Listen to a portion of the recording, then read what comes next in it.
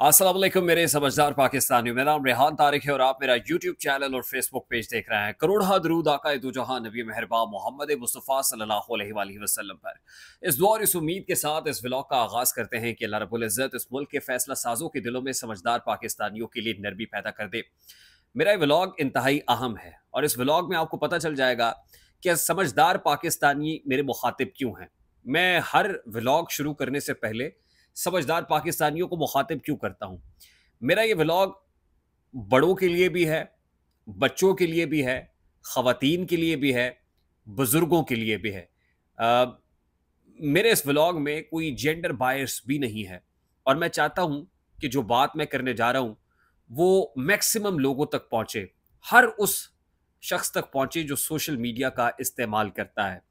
और फिर हर उस शख्स की फ़िक्र पे दस्तक हो जो सोशल मीडिया का बेधड़क बिला झिझक और बेखौफ व ख़तर इस्तेमाल करता है विदाउट एनी रिस्ट्रिक्शन करता है, जिसके बच्चे करते हैं जिसकी बेटी करती है, जिसकी बेगम करती है जिसके बुज़ुर्ग सोशल मीडिया इस्तेमाल करते हैं। मैं आपको एक रिसर्च के मुताबिक बता दूँ कि ये जो हमारी उंगली घूमती है सोशल मीडिया पे रील्स पे, या शॉर्ट्स पे, एक मोहताद अंदाजे के मुताबिक ये उंगली रोज़ाना ऑन एवरेज मैं हर शख्स की बात नहीं कर रहा, औसतन 400 मीटर का सफ़र तय करती है। ये 400 मीटर का सफ़र रोज तय करती है, ये जो ऐसे मूव करती है। ये बच्चे भी कर रहे हैं बड़ी तेज़ी से खातन भी कर रही हैं, बुज़ुर्ग भी कर रहे हैं और यंगस्टर्स भी कर रहे हैं।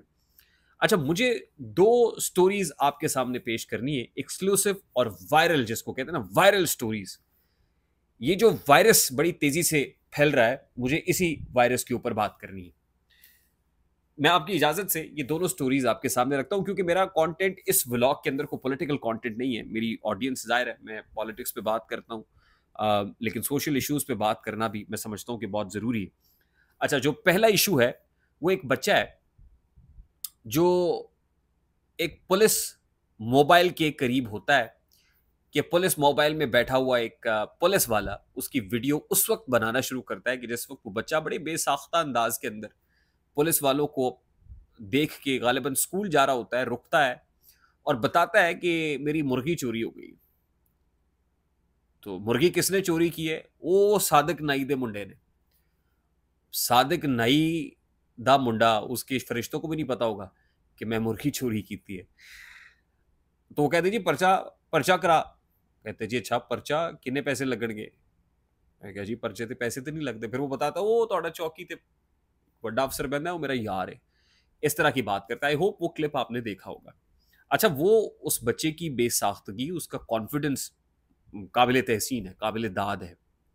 यहाँ तक बात ठीक हो गई। अच्छा इसमें सबसे पहले तो वो जो सादक नाई मैंने सुना है गाँव में, उसने बड़ा गुस्सा किया है। वो मेरा नाम क्यों आ गया और मुझे मुफ़्त में बदनाम कर दिया गया है? गाँव में ना बड़ा रख रखाव होता है, बड़े रीत रिवाज होते हैं। वहाँ पर बड़े, छोटे की इज़्ज़त शहरों में भी होती है, लेकिन गाँव में ना एक ख़ास रख रखाव होता है।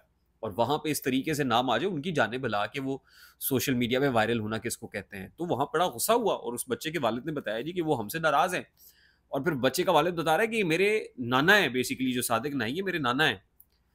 और सादिक नाई दा मुंडा उस बच्चे के तो वालिद की उम्र के बराबर ही होगा, अगर उसके नाना है वो तो।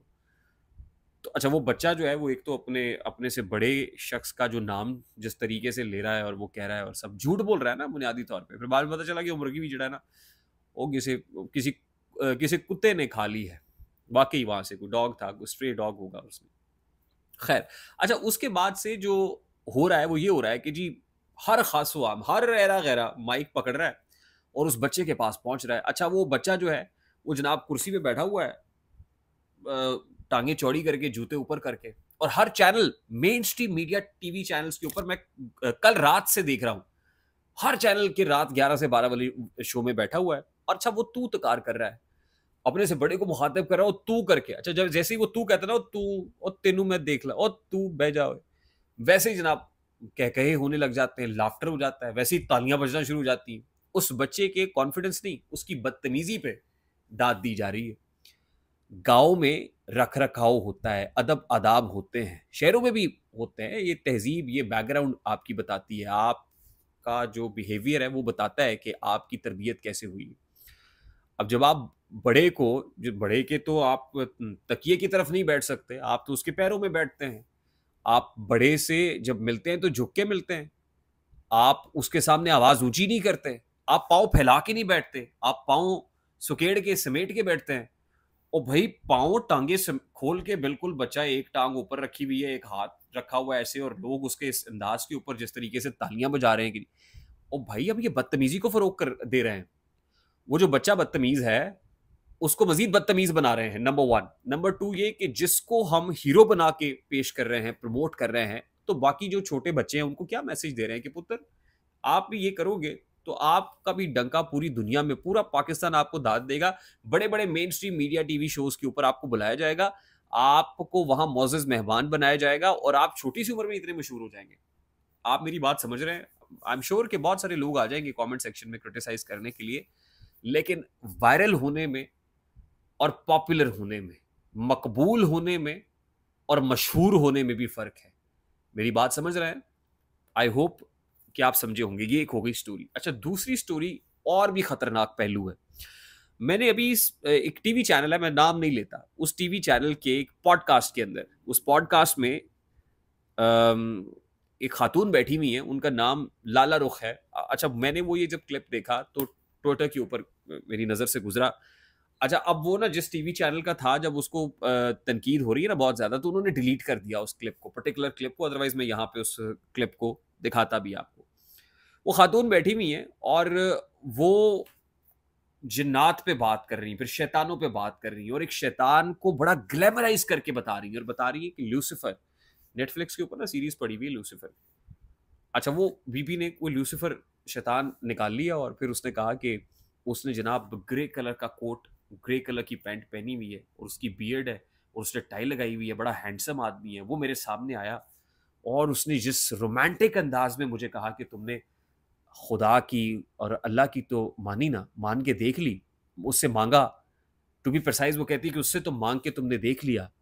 एक बार मुझसे तो मांग के देखो। और बीबी, क्या प्रमोट कर रही हो तुम? एक तो तुम शैतान को ऐसे ग्लैमराइज कर रही हो। ये शैतान जो है, ये ये तो वैसे भी एक ह्यूमन बिहेवियर है। ये एक नफ्सियात है। ये समझ रहे ना मेरी बात? शैतान बेसिकली ये भी एक कैफियत है। बहुत से लोग जिनको कहते हैं ना, वो शैतान, बड़ा शैतान है, उस कैफियत में होता है वो, कि वो रहमान की बात नहीं सुन रहा होता, वो अपने नफ्स के मुताबिक चल रहा होता है, और जो तस्किया नफ्स होता है, अपने आप को पाक करना है, वो एंटी नफ्स चलने का नाम है।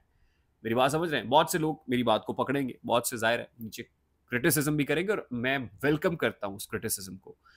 नाउजुबिल्ला अल्लाह रब्बुल इज़्ज़त से दूर करके, ऐसी चकाचौंध दिखा के ग्लैमर दिखा के आप अपना क्लिप तो बेच लेंगे वायरल तो हो जाएँगे, लेकिन वहाँ पे भी मकबूल होना है।